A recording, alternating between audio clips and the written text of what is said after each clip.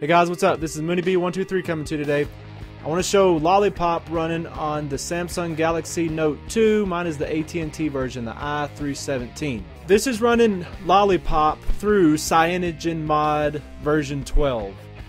One truly frustrating thing is that I'm able to run CM12. I'm able to have Lollipop on my Note 2, whereas on my Note 3, the Verizon model, I'm not going to be able to get Lollipop on this thing until uh, until Samsung gives the official Lollipop to it.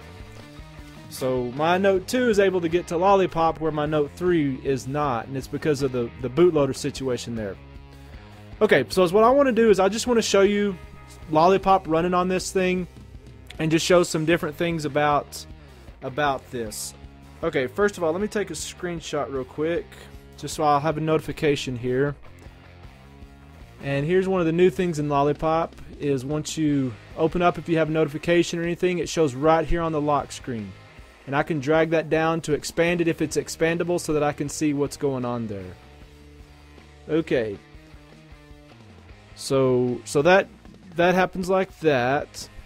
Now also from the lock screen, I can swipe from the uh, from the left hand side and it'll take me directly into my dialer. Or from there, from the lock screen, I can swipe from the right and it'll take me directly into my camera. Okay.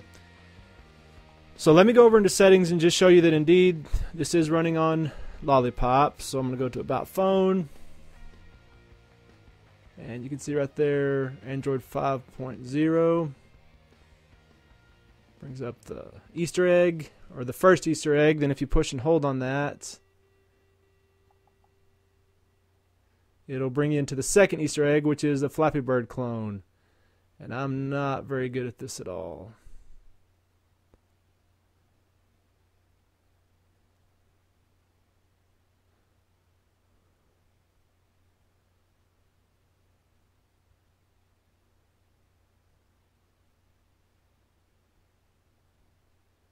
So, anyways, there you go.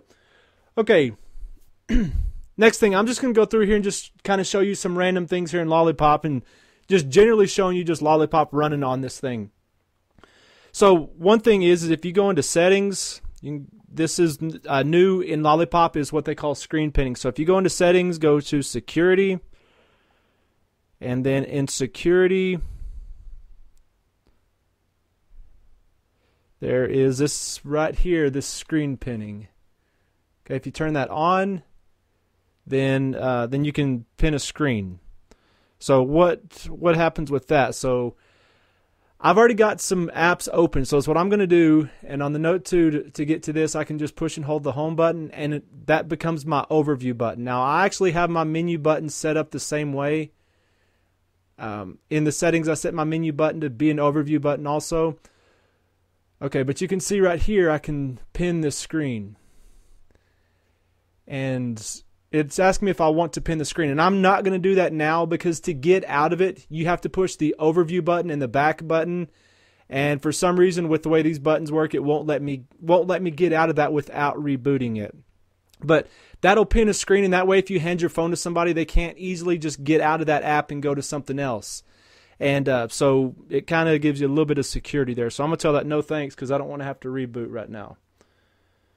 All right, so when you drag down, you drag down once to see your notifications, and you drag down again, and then it brings up this quick settings here. And you can see here in this quick settings, there's usually a flashlight is built into this. This is an early build right now and it's not in there or I, I, haven't found it yet. It may be there. I just I haven't seen it. Usually when you drag this down, it's built into Lollipop has been able to turn on your flashlight. But one thing here is that you can see there you can cast screen. You can do Chromecast real easy in Lollipop now. Okay, you can see these other options up here.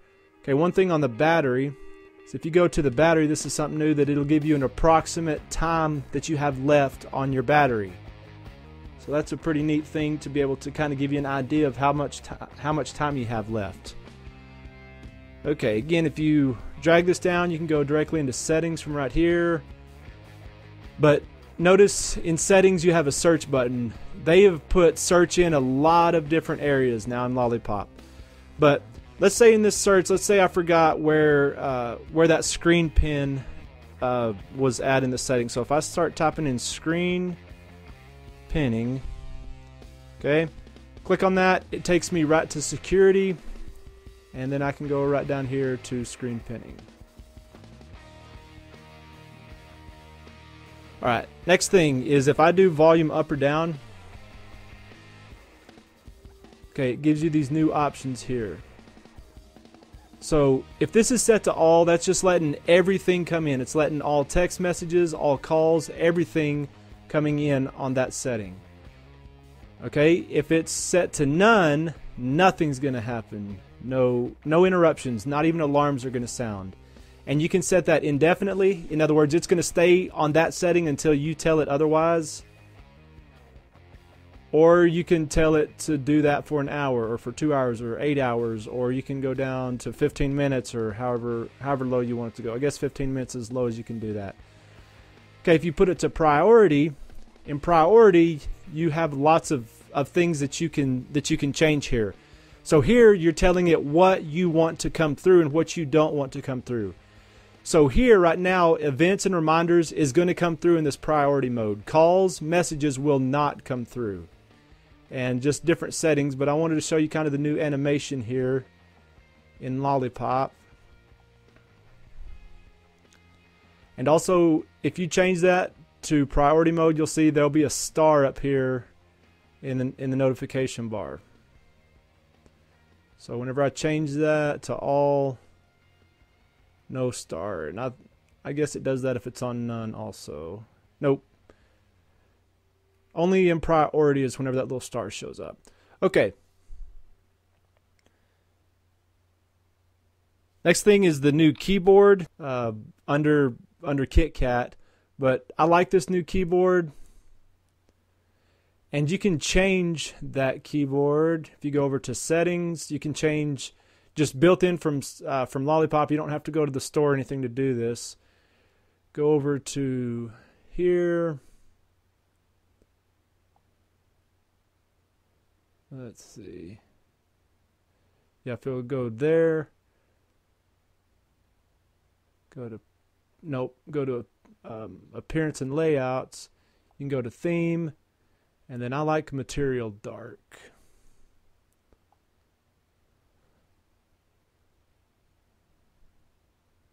and I like that keyboard. I like the animations. looks looks really nice to me. Okay, another thing built into Lollipop is is this is this new Android Beam. So if you open up a, a picture or something, okay, let me see. I just was going to do that. Okay, so anyways, Android Beam so tap another device to complete. So now you can just tap that to another device and to be able to send that across. Another thing new in Lollipop is app notification privileges. So if you go into settings, go to sound and notification, and then go down here to app notifications, you can go to any specific app. Okay, my favorite calculator app and you know, sometimes on some of these apps, especially games, you get all these notifications and you're like, you know what? I want to play that game once a week or maybe once every two weeks, and I don't want to lose my saved data, but I also hate all these notifications that they just keep sending me over and over and over again. Well, now with that game, whatever it is, Clash of Clans or whatever that keeps sending you junk, you can go in here to the specific app and block it where it will not send notifications to you. That's that's pretty cool. Okay, just another couple random things here. In settings, I thought this was pretty neat. I, I saw this on a website, but if you go into accessibility and they have the ability here to help people who have color blindness go to color correction, correction mode, and then they have all these different correction modes for people who who have who have some form of color blindness to possibly to help remedy that. Now it does say here that this is that that's experimental and may affect performance. So just be careful with that. Okay, the other thing that I like about this is well in in Lollipop it's supposed to be able to give the the functionality of having the double tap to wake. Okay, like on my G2 here. Okay, my G2 double tap here and it and it wakes up for me. The Note 2 can't do that, but it does have the double tap to sleep, which is is also pretty nice. So if you'll just double tap the notification shade, that will turn will turn the display off there as well. So I just wanted to show Lollipop running on the Galaxy Note 2. Like I said, mine's the AT&T version. This is this ROM really is for just the the international version. Um, so so it's coming out on those. It's been out for the for the 3G international Note 2, but now we've got it for the for the LTE version, for the international LTE and for for the AT&T version here. So there you go. Like I said, I think it's pretty cool that my Note 2 can still run this pretty good, where my Note 3 is not going to get Lollipop until Samsung puts that out for it. Thanks for watching today.